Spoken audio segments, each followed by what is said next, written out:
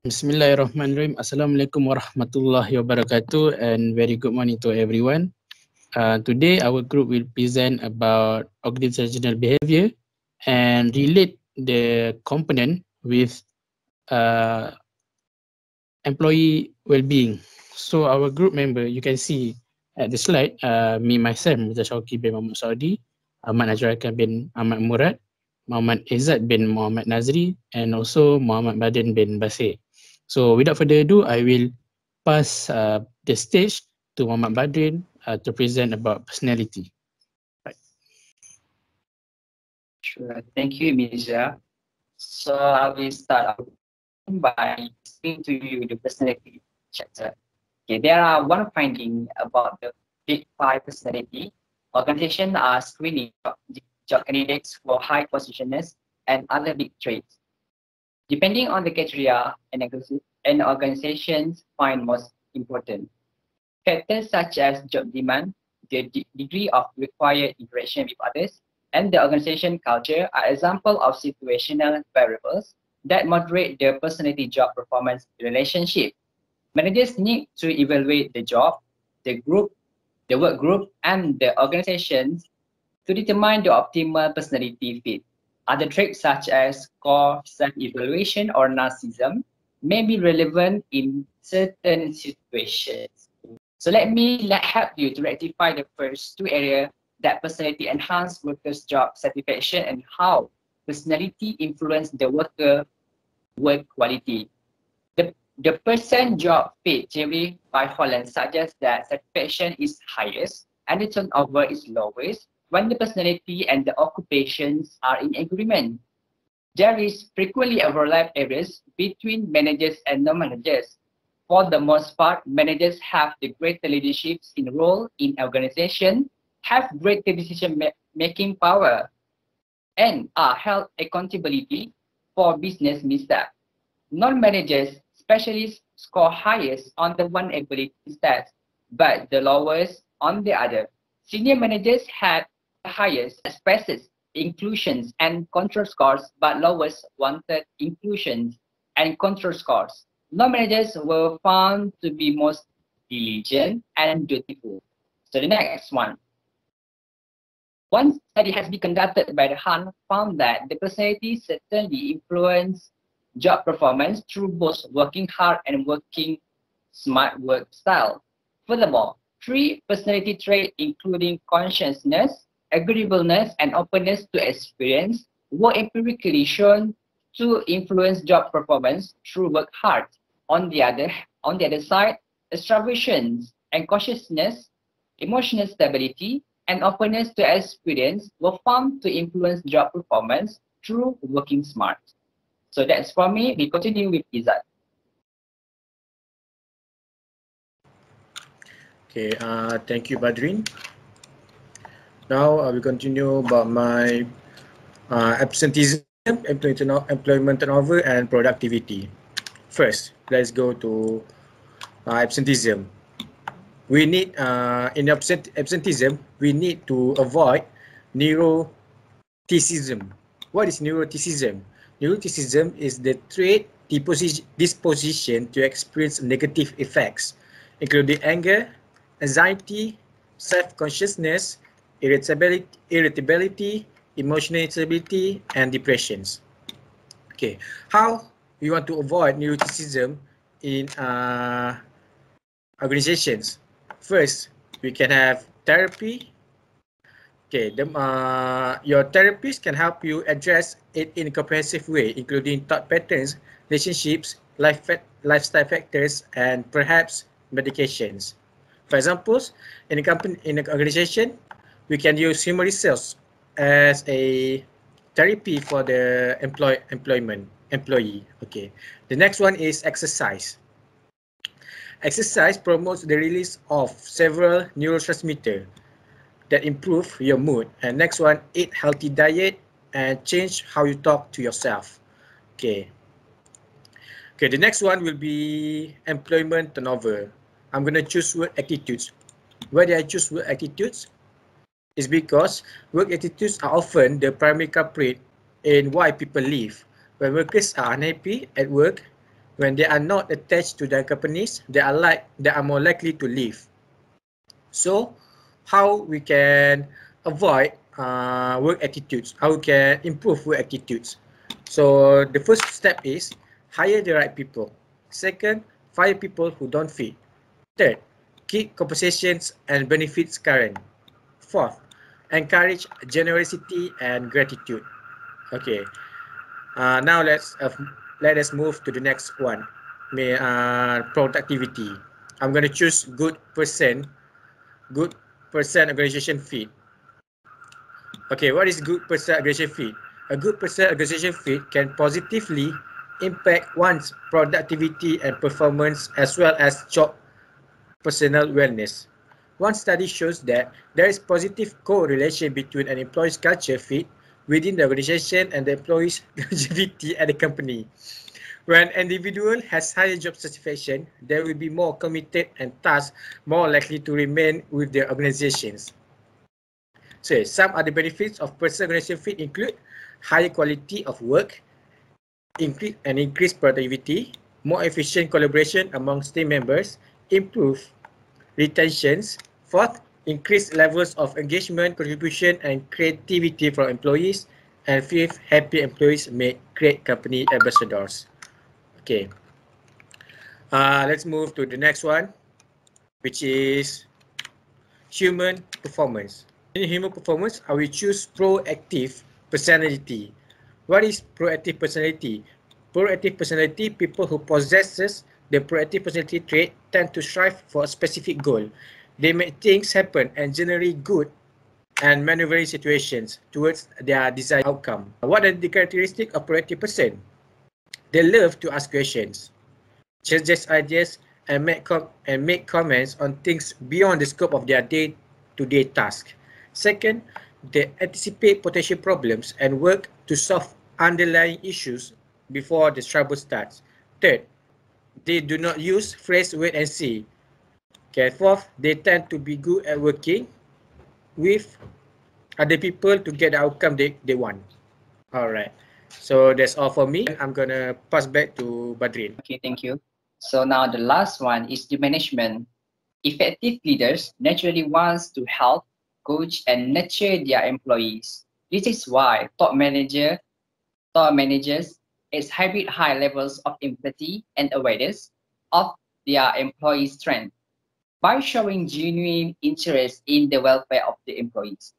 Focusing on the strengths of the workers allow managers to better position their employees to succeed in their roles. This can be done by assigning the task to employees according to their natural strength and interests, ensuring they complete them as well. So that's all. We continue with next chapter. I'm Nazir Haiqal. We continue with value.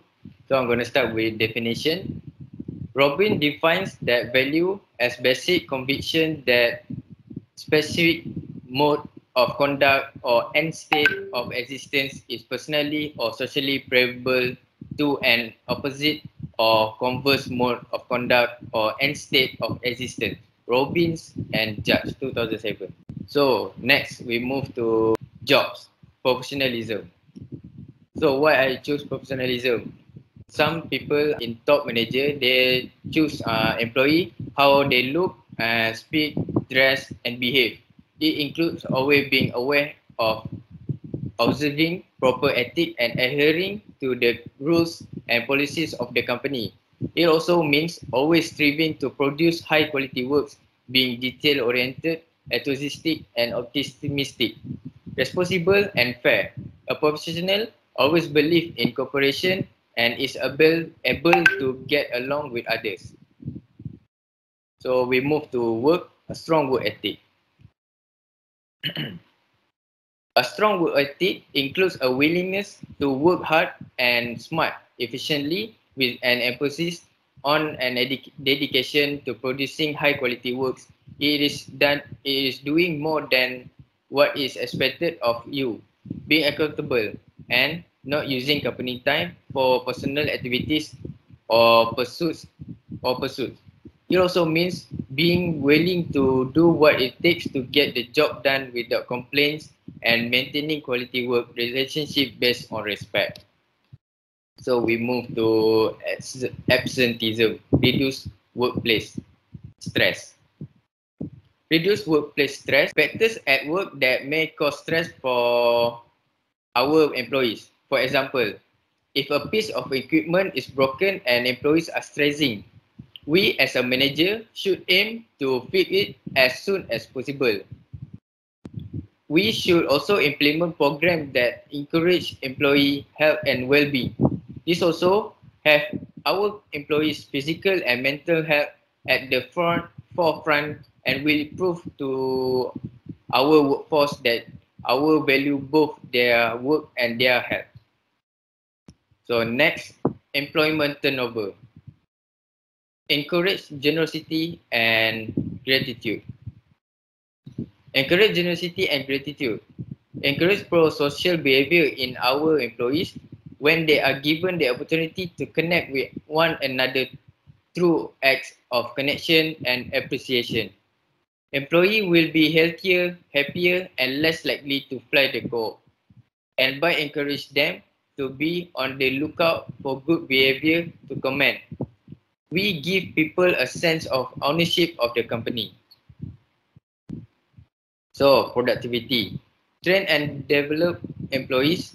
Reducing training or cutting it all together might seem like a good way to save company time and money. However, this could backfire. Forcing employees to learn their jobs on the fly can be extremely in efficient.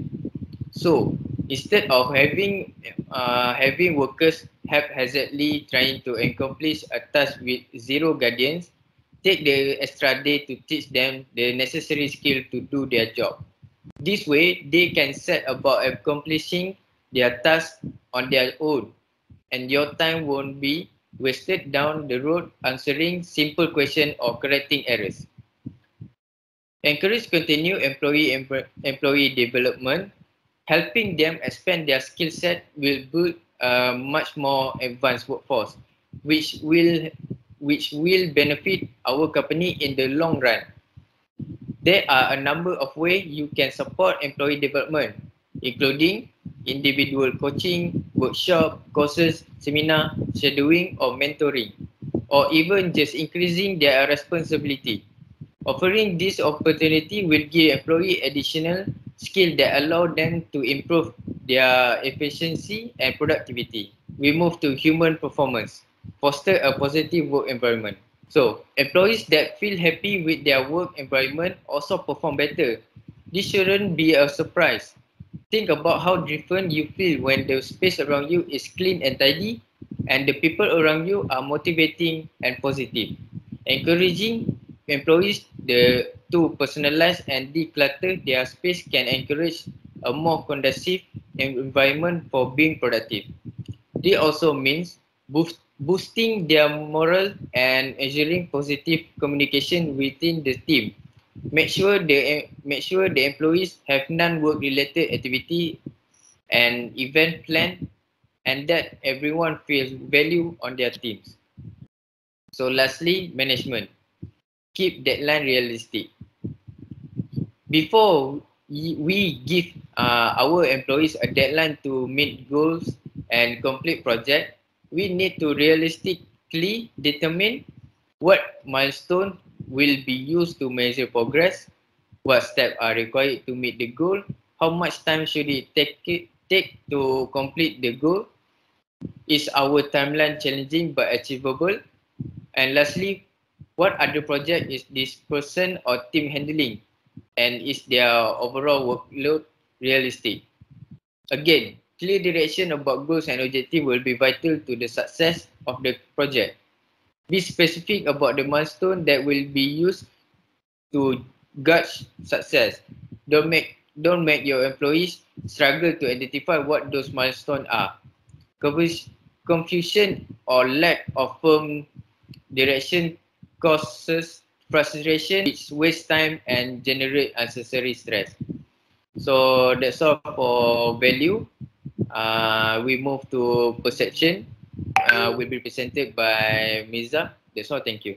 Thank you, Mr. Najrul. Uh, today we present about perception. So perception is actually how we interpret something and we try to put reason in what we expect something to be.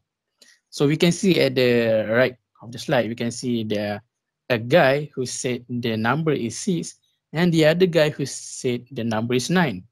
So perception is how we think something should be. The point, uh, people behavior is based on their perception of what reality is, not on reality itself. And the second one, the world as it perceived is the world that is behaviorally important. Mr. Zad, you can go to the second slide. So I will try to relate or using perception on how to enhance employee well-being. So the first one is about job. At the slide, we can see uh, promoting rather than open job vacancy. What I try to mean here is that if we put ourselves in the employee uh, shoes, we know that when our higher ups or senior wants to retire or leave their jobs to go another company or what the whatever the reason is, we will hope or our perception is more to uh, have ourselves to promote to their seat rather than the company open the job vacancy because when the company open the job vacancy, we know that in another words, the company didn't believe in our skill. So like employees are always hoping to get promoted rather than the company hire new workers. So if so if the company promotes the employee, the employee will be more motivated at works or in their job. So number two, work. Um, at the slide, we can see fairly distributed work. What I mean by fairly distributed is employee usually expected to get the same amount of works that worth their salary and related to the position they stand. So as an example, if uh, we try to penetrate the market and we have job vacancy about marketing executive, we our perception is to do a marketing jobs. So fairly distributed work is needed. Okay, so by giving them the right task, they can succeed it more perfect rather than stereotypes or works. So, so the third one is absenteeism. We need to try to reduce the absenteeism using perception. So at the slide, uh, I put is employers live up to the expectation when it comes to give a leave. So employee perception is every company follow the national terms in holiday. National term is like what the organization, uh, the, the national, we have the employers organization or employees council and even employee we have. But then every of the, we know the human resource department or uh, human resource uh, rules where they said that the employees deserve maybe a two days. In that particular particular deserve holiday so they need to have. So uh, we go to the next slide number four which is employment turnover. If you can see at the slide uh, expectation of continuous increasing in salary per time stamp okay. In a nutshell uh, as simple as it when we said increasing salary per time stamp I mean, like uh, majority of employees who works for any company have their own expectation to get raise in salary every certain duration or terms. By increasing their salary, the one who makes money as motivation and satisfaction will deliver better works. Okay. Okay. So, right. So we go to number five, which is uh, productivity. okay. Necessary equipment are fulfilled. So what is mean by necessary equipment are fulfilled? as a manager, we didn't want our employees low in productivity. So we want to keep the productivity at the highest level. So we need to give them a freedom in telling what they need for productivity. Okay, so I give you an example. For some people who have experience in working at hotel industry or resort, might be working in cafe, being a barista to do some coffee, so that uh, the manager need to ask like, So did you have anything uh, more or did you lack of anything to keep uh, the productivity keep better? So if the employee said, oh, I need some better workplace or to have a better layout. So the manager need to um, give what they demand. Okay, so we go to the second last, which is human performance. Having a clear vision and objective. So make it simple. What is having clear vision and objective? Is human performance is based on the employee's perception towards the company culture. So that by using a objective, they will know the performance where they should put the performance is 70%, 80%, or, or overtime, they may take overtime to compete and complete the task given. Okay, so when you put like okay, when you put deadline in the KPI, so by using deadline method, the performance can be better, and the employees will try their best in catch up with the performance of others employee. Okay, right. So we go to the last one, which is management. In here, uh, I put include employee view and future career advancement. So what I try to uh, explain in employee view is that most of the company which facing facing bankruptcy or having some tough problem, they will only meeting or make decision only by their own board without knowing what the employees are facing. So employees who are at the field, at the field work, at the retail store, at the any part of the field works, they know better the environment and the experience to make something better.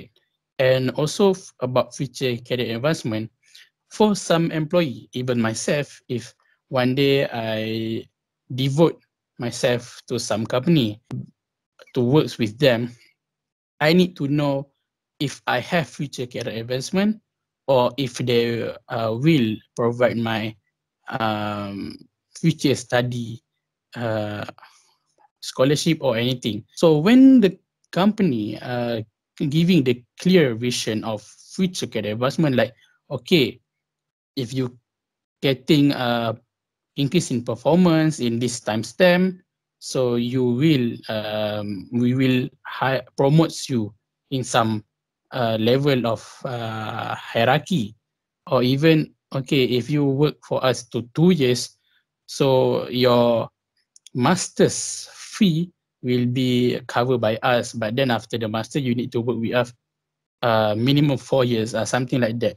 So when the companies have this this kind of benefits, so the perception from the employee uh, over the top, and also it also can benefits the company itself. Okay, so uh, that's all uh, from us uh, about the value, personality, and perception. Uh, thank you so much for watching and hope that everything that we present uh, will help you guys, uh, whoever watch this, help you guys to enlighten or have any new knowledge. Thank you very much.